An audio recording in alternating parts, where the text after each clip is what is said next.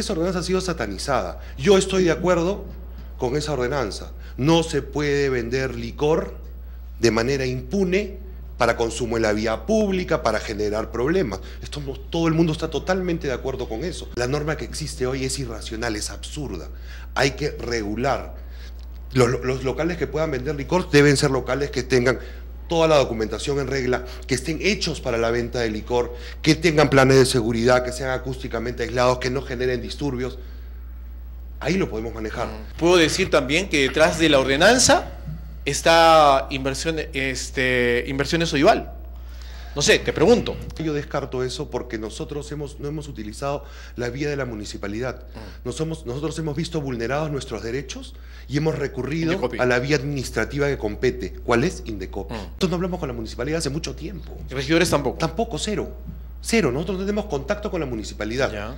Nosotros hemos judicializado los temas municipales. En el provincial ha habido también un cambio, ¿no? De zonificación. Sí.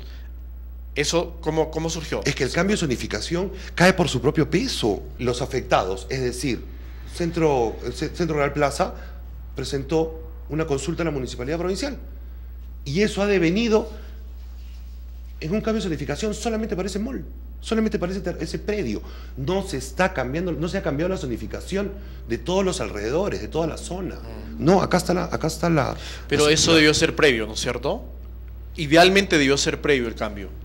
Idealmente debió ser, previo, mm. probablemente sí. Pero el mall estaba construido, existía una conformidad de obra emitida por la municipalidad que acá está. ¿Y ahora cómo está el tema? Lo tenemos judicializado. No, no, me refiero a la parte física de la discoteca. Ahí estamos, la tenemos, la tenemos ahí parada. Tenemos, la, tenemos la obra bastante avanzada y la tenemos parada porque no queremos darle mayor pie a Menéndez Linares, el abogado de Forum, y a, y a la señora esta Málaga Velázquez, para que sigan generando problemas. Entonces nosotros preferimos, a pesar de contar con el derecho, a pesar de estar facultados para construir, a pesar de estar facultados... ¿No está construyendo ahorita? No.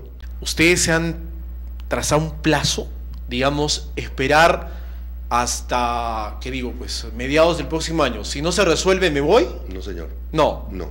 Van a persistir. Nosotros no podemos permitir que abogados y empresarios como los mencionados tengan éxito.